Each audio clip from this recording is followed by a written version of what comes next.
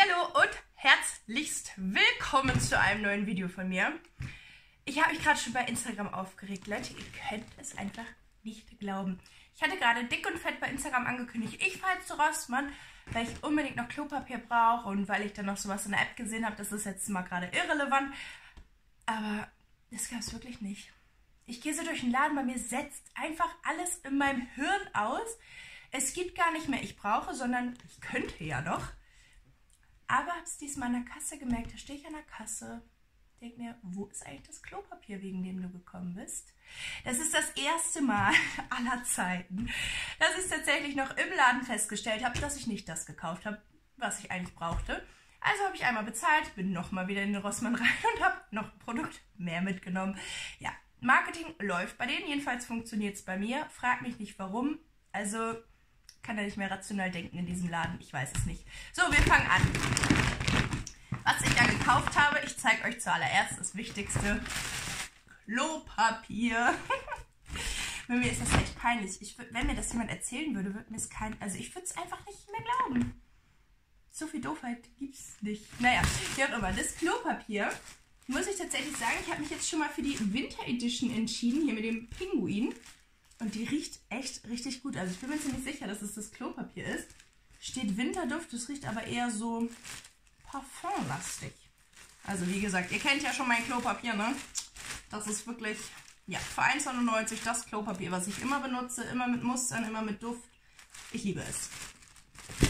Dann gab es im Sale diese, ähm, also eine App, ne? Nicht im Sale, sondern in der App im Sale von Kleenex, diese ähm, ja, Trockentücher. Ich habe die super gerne bei uns am Bett stehen. Ja, die letzte Packung hat die Kleine ja ein bisschen missbraucht, weil äh, Babyborn schläft ja bei uns. Babyborn macht angeblich nachts immer Kacker und ähm, da werden dann die Tücher für verwendet. Äh, aktuell habe ich sie eigentlich eher gekauft, weil wir ein bisschen erkältet sind beide und ich habe sowas immer gerne am Bett stehen und fand die, fand die ganz passend. Ich bin ja im äh, Schlafzimmer so ein bisschen golden eingerichtet. Apropos, ich hatte noch mal überlegt, eine neue Roomtour zu drehen, falls jemand Interesse hat. Schreibt mir es gerne in die Kommentare. Ja, so. Ich glaube, 20% gab es da drauf, hat sich also gelohnt. Ja, das war dieses äh, nächste Produkt, was ich mitgenommen habe mit dem Klopapier. Tatsächlich brauche ich auch wirklich. Und zwar die Wattepads. Ich nehme einfach äh, die günstigsten. Also ich nutze es auch nur für mein Micellenwasser, wenn ich schon abgeschminkt bin. Also ich schminke mich immer erst mit dem Reinigungsgel ab und nutze dann das Micellenwasser. Ja, deswegen eins am Tag, also die halten bei mir ewig. Und ich finde die so praktisch, weil das habe ich auch erst 100 Jahre später herausgefunden, dass man dieses Ding dann so hinhängen kann. Ich habe da so einen Haken und kann man immer einen rausziehen. Ja. Dann habe ich, ähm, war auch wieder nötig, äh, wobei andererseits bin ich mir nicht sicher, wie nötig es ist, weil ich aktuell keine Abholung habe. Ich muss mich da definitiv wieder eintragen. Aber die letzten zwei Abholungen vom Foodsharing habe ich ohne Handschuhe gemacht, beziehungsweise ich musste meine neuen Putzhandschuhe nehmen. Ähm, ja, ich habe das jetzt zum ersten Mal nachgekauft. Ihr wisst ja, also alle, die mir bei Instagram folgen, wissen, wie aktiv ich war, bin, wie auch immer, wie viel ich abgeholt habe. Und die sind jetzt das erste Mal leer gegangen. Jetzt habe ich welche nachgekauft, sind halt immer nicht ganz günstig. Aber ich denke, auch zum Kochen oder Putzen kann man die notfalls auch mal verwenden. Ich glaube, 3,99 kostet das Paket. Aber gut. Achso, heute ist übrigens alles ein bisschen, ich sag mal, haushaltslastiger. Ich hatte ja Zeit, ich war ohne Kind einkaufen tatsächlich. Ähm, deswegen fange ich mal mit einem Produkt der Haushaltsabteilung an. Und zwar ist es dieses Brett. Ich glaube, das hat 5 Euro gekostet.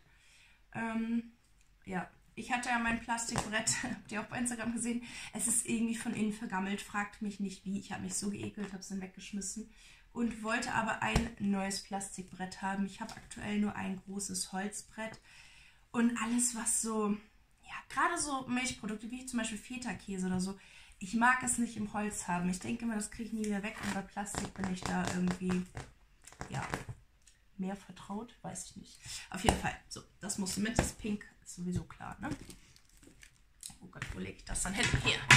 So, machen wir weiter. Ach ja, Erkältung und so. Habe ich hier einmal die limitierten von Alouette mitgenommen. Ich wollte nicht die Riesenpackung, die passt nämlich nicht in mein Regal, die passt perfekt rein. Ja, und da ich dachte, jetzt wo die Erkältung vorbei ist, deckst du dich schon für die nächste ein, habe ich noch ein Paket gekauft. weil ich sie einfach schön fand. Das ist hier so ein Sechserpack, aber ich fand die Pakete einfach schön für die Handtasche und ja, weiß ich nicht. Ist sicherlich unnötig, aber auch die passen in mein äh, Regal in der Küche, deswegen kann ich sie jedenfalls gut verstauen. Jetzt kann mir natürlich jeder clevere Mensch sagen, Chrissy, du kannst einfach die große, günstige Packung kaufen und sie auspacken. Ja, kann ich. Mache ich aber meistens nicht. Dann bleiben die immer alle zusammen und so finde ich es praktischer. Dann ist uns leer gegangen die Müllbeutel. Da habe ich einmal äh, die hier mit Duft genommen. Die riechen übrigens auch mega gut. Genau wie meine, kennt ihr noch die Didelblätter Duftblöcke? Genau so riechen sie. Diesmal war leider Müllbeutel nicht im Angebot. Hat mich ein bisschen geärgert, aber dafür sind sie pink, ne? Oder pink, ja, mit Duft. Meine. Ähm, ja, das sind hier die 25 Liter. Die nutze ich immer ganz gerne für die Windeln. Und dann habe ich hier noch welche. Ja, hier ist auch Geruchsstopp-Müllbeutel mit Tragegriffen, weil ich brauche immer die Tragegriffe. Alles andere zerreißt mir irgendwie immer. Hier habe ich den für die Küche mitgenommen. Ja. Ich hätte auch die ganz normalen ohne Geruchsstopp genommen, weil ich habe das Gefühl, das stoppt auch keine Gerüche. Also nicht so wirklich. Aber ich fand die mit den Griffen besser und die anderen waren alle ausverkauft. Deswegen gab es die. So, dann nochmal ein Beauty-Artikel. Oh. Ich hatte ja schon ewig kein Trockenshampoo mehr und jetzt waren auf Batiste äh, 20% in der App.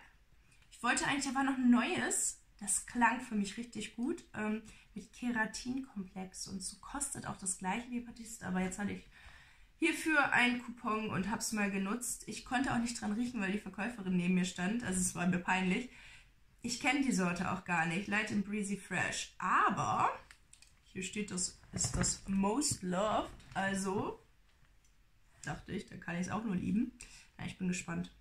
Ich hatte ja vorher das günstige, das war nicht so, nicht so meins. Deswegen hoffe ich, das riecht nicht so extrem. Ich sprühe einfach mal. Hui. Riecht frisch, neutral. Ich werde es austesten. Ihr werdet es im Aufgebraucht wiedersehen. Ja, dann, äh, dann, äh, dann äh, gab es für die Kleine noch ein paar Quetschis. Der Klassiker, die ich immer kaufe von Fruchtbar. Heidelbeere Banane mit Reis, zwei Stück. Und da ich ja immer noch am freche Freunde Müllverpackungen sammeln bin, habe ich jetzt nochmal den einzigen, den sie darf. Banane, Erdbeer, Quinoa. Also davon habe ich zwei mitgenommen. Ja, und dann war ich generell noch in der Snack-Abteilung. Da gab es dann hier, die wollte ich mal ausprobieren. Dinkelbällchen mit Tomate und Karotte. Ja, soll also gesund sein, also als gesunder Snack. Ich habe ein bisschen Angst, weil die doch recht klein sind. Ich glaube, wie diese kleinen, ja, die gibt es auch für Erwachsene, sage ich mal, zum Naschen.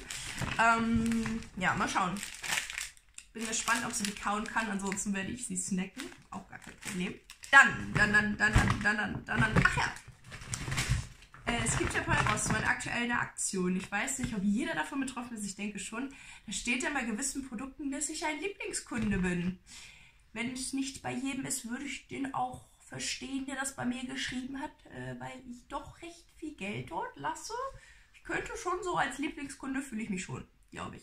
Da hatte ich kurzzeitig ein schlechtes Gewissen, aber jetzt haben mir bei Instagram welche geschrieben, es sind auch noch mehrere Lieblingskunden, die vielleicht nicht ganz so viel einkaufen. Auf jeden Fall äh, stand da einfach, ich kriege dieses Produkt gratis und durfte mir von Prokodent eine Mundspülung aussuchen. Hat mich sehr gefreut. Ich habe den mal hier die mit extra weiß genommen. Mal gucken, ob das bei mir noch hilft. Äh, mit meinem ganzen Kaffeekonsum weiß ich nicht, wie viel Mundspülung ich trinken soll, damit meine Zähne richtig weiß sind. Ja, also schaut gerne mal bei euch rein. Ne? Vielleicht habt ihr auch irgendwie so einen Bonus dadurch. Ich weiß es ja nicht. Ähm, ich habe mich auf jeden Fall gefreut. Ich meine, die kostet 79 Cent. Ist jetzt kein mega High-Class-Produkt oder so. Aber warum nicht? Meine Mundspülung ist leer. Passt also ganz gut. Als hätten sie das schon gerochen. Naja, bei meinen Einkäufen. Ne? Dadurch, dass ich die App benutze, sehen sie auch, was ich einkaufe. Vielleicht haben sie es extra gemacht. Ist eigentlich ganz schön gruselig, ne? was man durch die ganzen Daten so mitkriegt und ähm, feststellen kann und und und. Ähm, Gab es auch mal eine ganz tolle Story von Payback.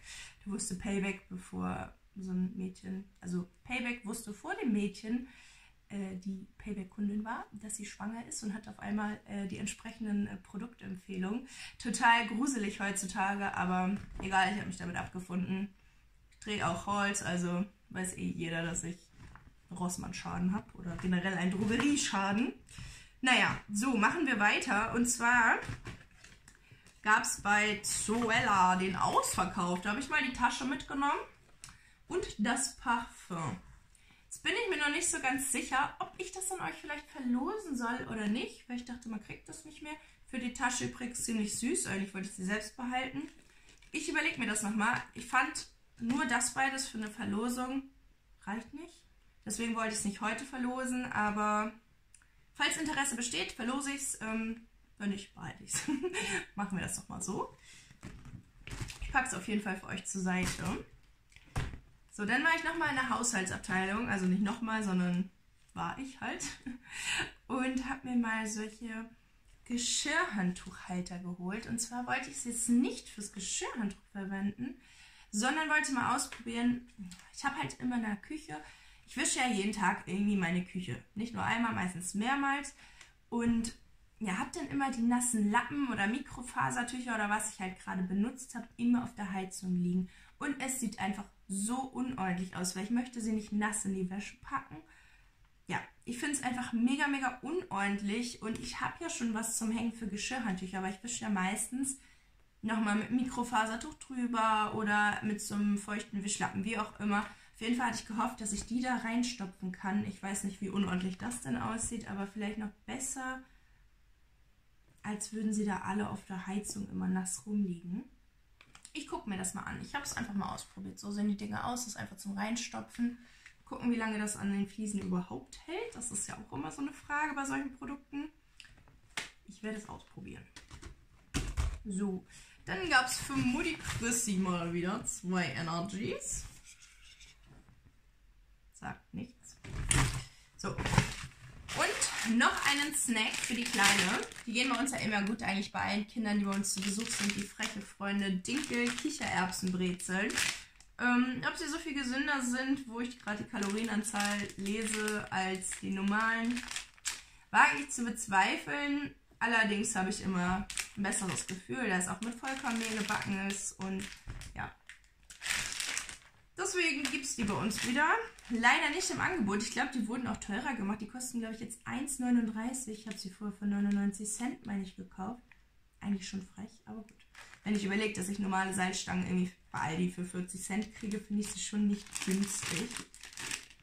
Aber was soll's, nur das Beste für das Kind. So, und das letzte Produkt. Das letzte Produkt. Ja. Yeah. Und zwar habe ich bei Rossmann mich nochmal durch die Düfte durchgeschnuppert. Es gab noch eine ganz teure Variante, die wollte ich zuerst noch mitnehmen. Das war eine richtig schicke Vase. Ungefähr so wie diese hier, nur in kleiner und in weiß, mit den Duftstäben. Dachte ich so, das ist ja nochmal ein schickes Deko-Element. Allerdings gab es das Starter-Set nur mit einem Duft, den ich nicht so gut fand. Die anderen fand ich aber sehr, sehr gut. Ich glaube, es kostet auch 5 Euro. Deswegen warte ich jetzt erstmal, bis es wieder verfügbar ist mit einem Duft, der mir auch gefällt. Und habe jetzt erstmal hier die Raumerfrischer-Nachfüllpackung mitgenommen von Rubinlicht, äh, der Rossmann Eigenmarke. Tatsächlich, da, obwohl es eine Eigenmarke ist, roch es recht gut.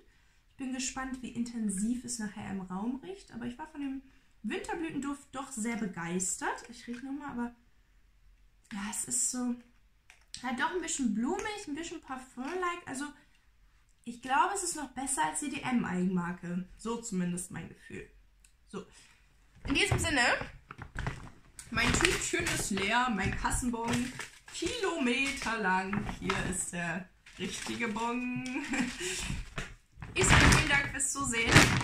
Verlinke euch hier noch meine letzten beiden Videos. Hier unten könnt ihr mich sehr gerne abonnieren. Und sagt Tschüss bis zur nächsten Rossmann-Eskalation. Nicht?